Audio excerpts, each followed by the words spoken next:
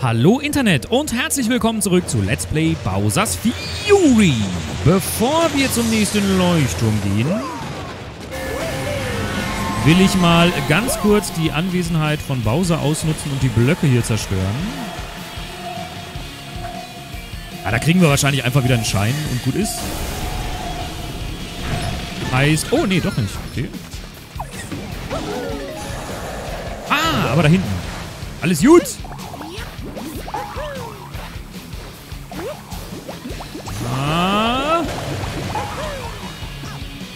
Jetzt nicht getroffen werden. Nice. Wasserfallpanorama.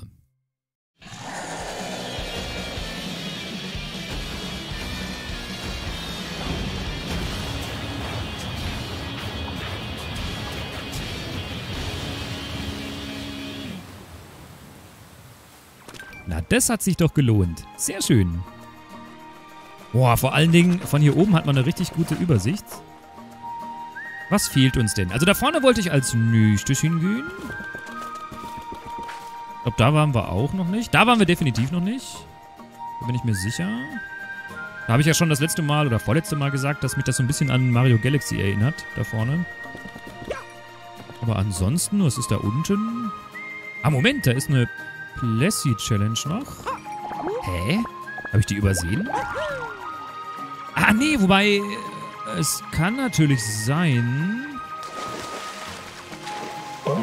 dass ich die erst freigeschaltet habe, weil ich die Tinte entfernt habe, ne? Ist das möglich? Wahrscheinlich. Habe ich das Häschen denn hier? Auch noch nicht, ne? Ich weiß es nicht. Wir fangen jetzt einfach den Hasen. Keine Ahnung, ob ich den schon hatte oder nicht. Hey. Oh nein! Bleib stehen. Sehr schön. Oh, der ist so niedlich. Fang den Hasen am Strand. Ne, hatten wir tatsächlich noch nicht. Okay. Ja, gut zu wissen, dass sich die Spielwelt ein bisschen verändert. Wenn man die Tinte entfernt. Oder den schwarzen Schleim oder was auch immer. Okay, da vorne ist noch ein Schalter.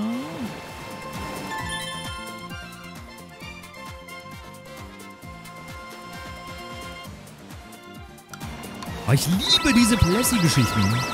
Mann, das ist voll gut. Ja gut, getaucht haben wir ja schon oft genug, ne? Also ist ja jetzt nichts Neues.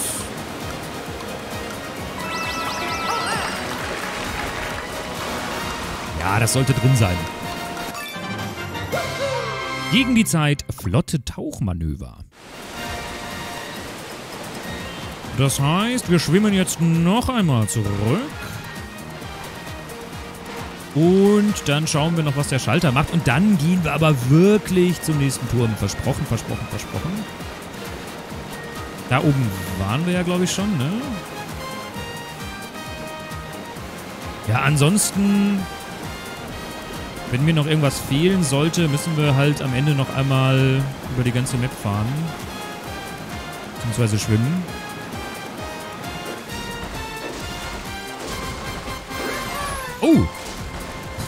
Schön. Was haben wir denn hier? Ja, wahrscheinlich Gegner kloppen. Oh nee, doch nicht. Oh ja. Okay. Ohne Katzenanzug definitiv schwieriger. Mit Katzenanzug kann ich mir den ganzen Kladderadatsch hier klemmen. Gegen die Zeit. Die Wasserfälle hoch. Sehr schön. Okay, wo wollten wir eigentlich hin? Da vorne ist unser Ziel. Ich denke mal, die schwarze Tinte hier kann man auch noch entfernen. Sieht jedenfalls so aus.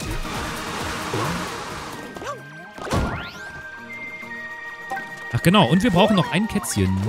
Also ich denke mal, das Kätzchen finden wir wahrscheinlich irgendwo da vorne in diesem Lavagebiet.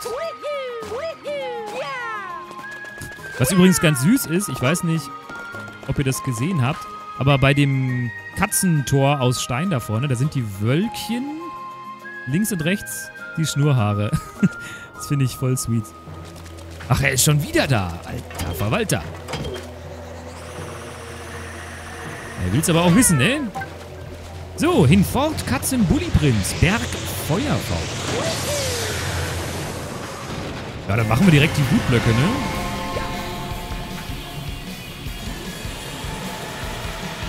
Ich hoffe, er zerstört die jetzt auch wirklich. Ich nehme jetzt einfach mal in Kauf, dass ich getroffen werde. Ja, das ist okay.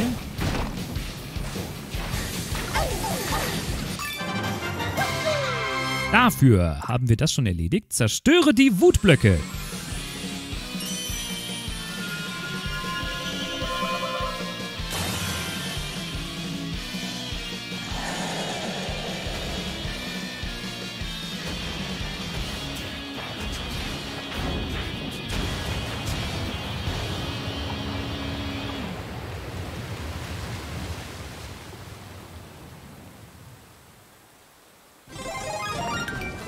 Cool. Das Problem ist, jetzt hänge ich hier fest. Ah, okay. Ich pfeife mir jetzt direkt den Katzenanzug nochmal rein, beziehungsweise so eine Katzenglocke. Ja, und dann suchen wir doch mal den Bully-Prinz. Was für ein Name. Ah, schaut mal, da unten ist ein Fragment. Wie komme ich zu dem Fragment hin? Irgendwo muss eine Plattform sein. Ey, oh nein.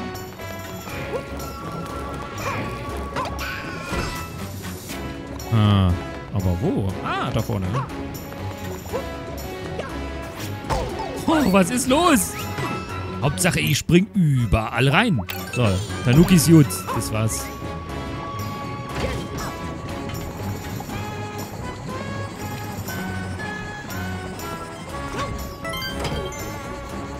Ich denke mal, mehr gibt es hier unten auch nicht, aber wir schauen uns trotzdem nochmal um. Nee, okay. Hey, Moment. Aha. Bowser Junior will ja zwischendurch auch mal was machen, ne? Ach, der Boomerang. Vollkommen useless, meiner Meinung nach.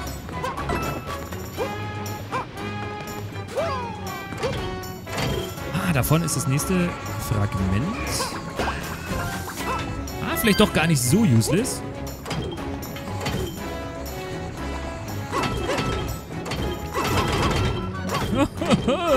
Gib mir Münzen! Auf jeden Fall interessanter Level, beziehungsweise interessanter Abschnitt hier.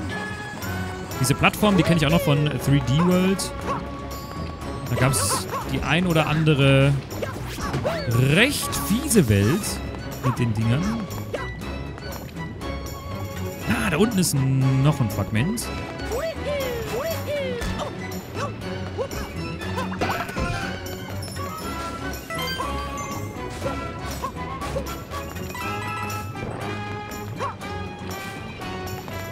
Hier muss ich mich sogar ein bisschen konzentrieren, tatsächlich.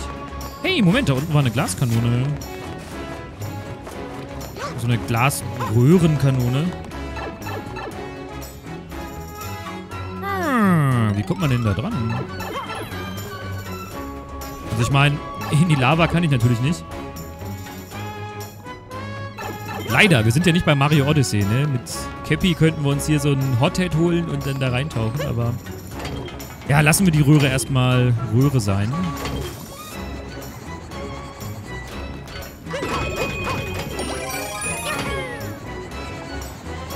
Wo ist denn der Bully-Prinz? Hm.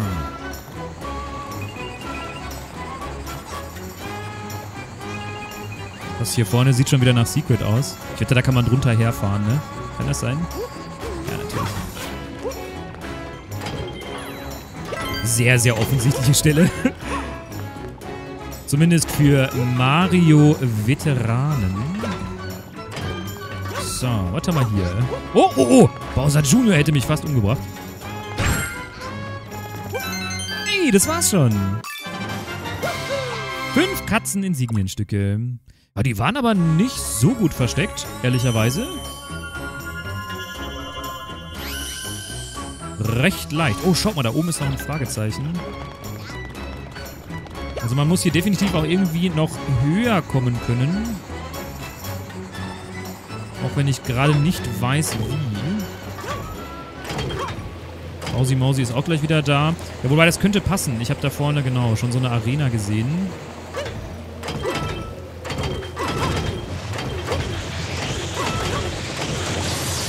Das heißt, da unten ist wahrscheinlich der Katzenbully-Prinz.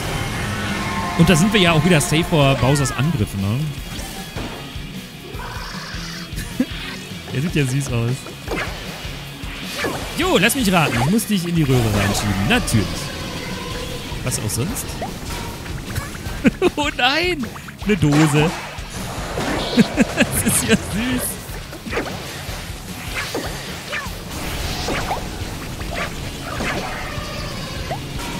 Äh, wo ist er rausgekommen? Ach, da vorne. Oh nein, sieht das niedlich aus. Oh.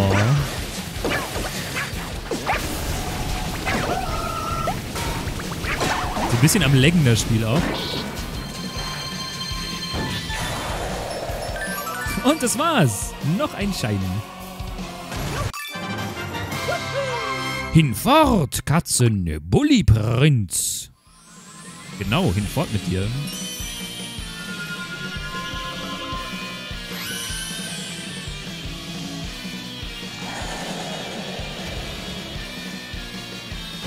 Ja, die Schildkröte hat wieder schlechte Laune und verzieht sich. Ich frage mich die ganze Zeit schon so ein bisschen, wie sie das am Ende auflösen wollen. Also, ob man erfährt, woher die Tinte kommt und so. Ich hoffe, sie erzählen so ein bisschen was dazu. Oh, ich habe das Kätzchen gesehen. Ich habe das Kätzchen gesehen. Und ein neuer Hase ist gespawnt. Oh, Hallöchen. Na, willst du zu Mami? Ja, komm her. Oh, Bowser Junior, hör auf, die Katzen zu schlagen. Sonst verprügel ich dich. Nein, mache ich natürlich nicht. Höchstwahrscheinlich. Also, versuch lieber nicht es herauszufinden, Bowser Junior.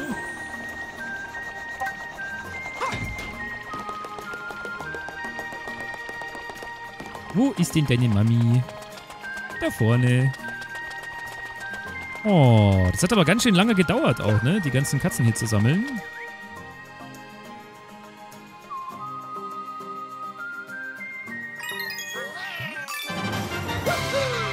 Verlorene Kätzchen im Ödland.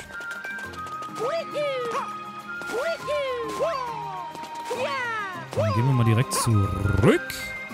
Zwei Challenges haben wir hier ja noch. Und die nächste lautet...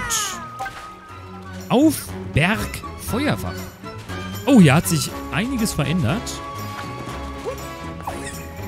Auf jeden Fall haben wir jetzt hier Röhren. Die waren vorher nicht da. Vielleicht kommt man jetzt auch an diese Glasröhrenkanone ran.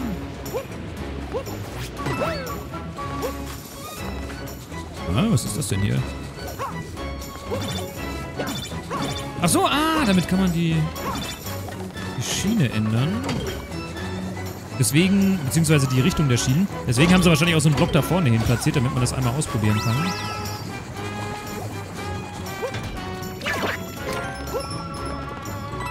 Kann man da reinkrabbeln? Nein, ne? Außer Junior, wenn du noch einmal eine Katze schlägst, dann stecke ich deinen Kopf in so ein Loch rein. Okay, Mario. Frecher Bursche. Ich spiele wie so ein Frosch. Da hätte ich auch durchgehen können einfach, ne?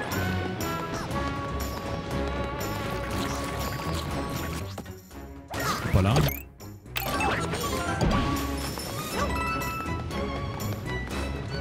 So, ja, ich denke mal, wir müssen jetzt einfach nur nach oben kraxeln und dann kriegen wir wahrscheinlich eine Belohnung. Die sind so niedlich, die Dinger. Was, was ist das eigentlich? Rollfussis oder so? Die sehen so sweet aus. Oder sie haben starke Schmerzen. Wer weiß, wer weiß, wer weiß. Oder beides. Und hier war doch so ein Gedöns. Ah, da komme ich aber nicht hoch, ne? Nee. Okay, hier kommt man jetzt so nicht dran. Ach so, ach so, ah, ich muss die Strecke bis zum Ende fahren und dann kann ich das Ding berühren und dann kann ich wahrscheinlich irgendwie weiterfahren. Kann das sein? Ja, ja, genau. Sehr schön. Vielleicht sogar die coolste Mini-Welt bis jetzt. Würde ich einfach mal so behaupten. Hat sich hier denn noch was verändert? Nee, ne? Nee, okay, ist immer noch dasselbe Fragment, was wir ja schon hatten. Ja, was jetzt natürlich ein bisschen blöd ist, ist, dass Bowser schon wieder auftaucht. Ich denke, wir sind gerade erstmal so bei der Hälfte der Strecke. Ach, schaut mal, okay. Das Rätsel haben wir gelöst.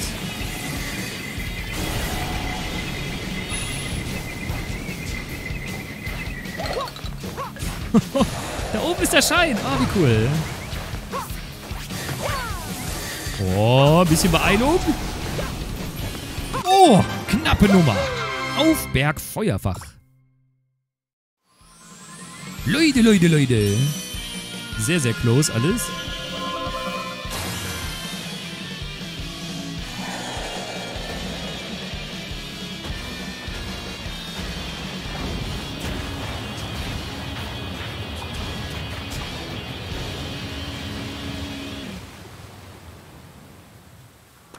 Und weg ist er.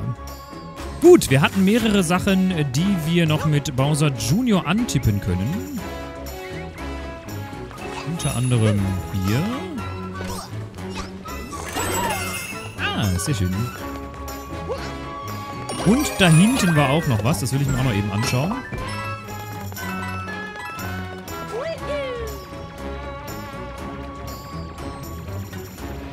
Ah, lande ich im Wasser? Ja, sehr schön. Da, da wollte ich mal kurz hin. Es sieht schon... Ja, wobei wichtig, wichtig vielleicht nicht, aber es sieht schon besonders aus hier unten, finde ich. Vielleicht ist da so eine goldene Röhre drin. Wir haben ja einmal so eine goldene Röhre auch gefunden. Ne? Nö. Okay.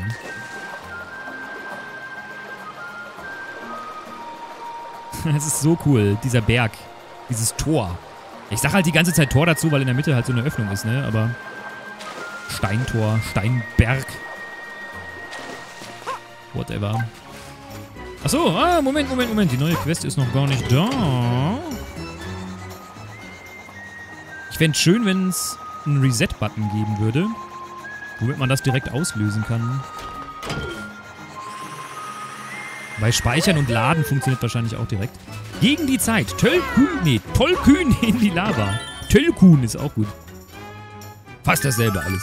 Ich denke mir wieder einfach Begriffe aus. Jo, Hallöchen, Rollfusi. Ich habe euch Rollfusis getauft. Muss mal nachschauen, wie die wirklich heißen. Wobei ich finde, dass meine Theorie jetzt gar nicht so abwegig ist.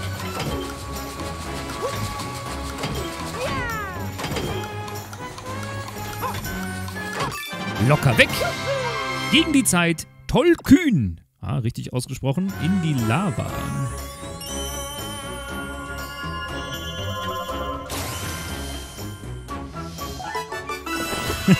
Und weg ist der Schmutz. 72, nein, 73 Shines haben wir schon. Heißt, wir nähern uns auch langsam aber sicher dem Ende wahrscheinlich. Du, du, du, Und ich bin traurig, muss ich sagen. Also, da hätten sie ruhig 1000 Shines reinpacken können. Vielleicht mit ein paar verschiedenen Welten natürlich. Ah, hier kann man auch noch hinter. Bleibst du wohl stehen, du frecher Hase. Geht doch. Fang den Hasen im Ödland.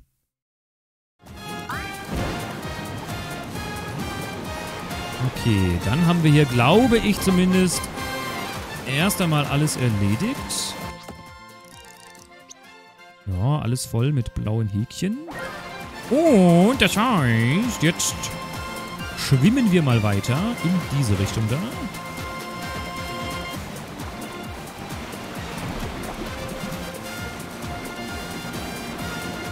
Wie kommt man denn da hinten hin?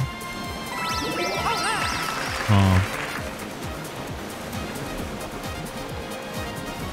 Also da rechts, ich meine hier vorne links, klar, da kommen wir hin, aber da vorne. Soll ich hier über die Suppe Soll ich über die Suppe drüber springen? Ja, wobei wir warten mal. Kann natürlich sein, dass wenn wir den Leuchtturm hier erhellt haben, dass dann wieder ein bisschen Suppe verschwindet. Naja, sehen wir dann ja. Wir landen auf jeden Fall. Auf der glutgetriebenen Insel. Lass den Leuchtturm strahlen, aber jetzt, wo Bowser spawnt, werden wir natürlich direkt wieder diese Wut-Bowser-Blöcke hier vorne machen. Ich bin stolz, wie organisiert ich das hier alles angehe. Mensch, Mensch, Mensch. Also dafür, dass es blind ist, ist es ganz fluffig, würde ich sagen, ne? Jo, spei mal Feuer, bitte. Mach mal hier den Zündi.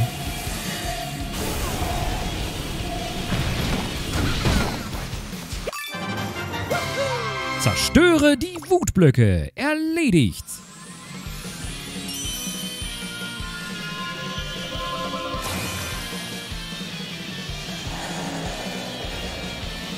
Und schon hat er wieder kassiert, der Gute.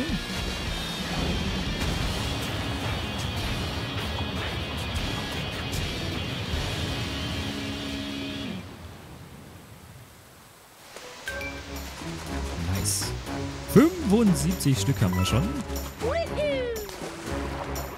Oh, das sieht ja schon mächtig interessant aus hier, ne? Also wenn ich mir... wenn ich mir dieses drehende Ding da oben anschaue, oh, könnte auch relativ schwer werden. Tja, liebe Leute, aber wie es hier weitergeht auf der glutgetriebenen Insel, das erfahren wir im nächsten Part. Ich hoffe, ihr hattet Spaß und der Part hat euch gefallen. Sollte dem so sein, lasst mir gerne ein Like und ein Abo da. So oder so würde ich sagen, bis zum nächsten Mal. Euer Huxel, ciao. Ich freue mich.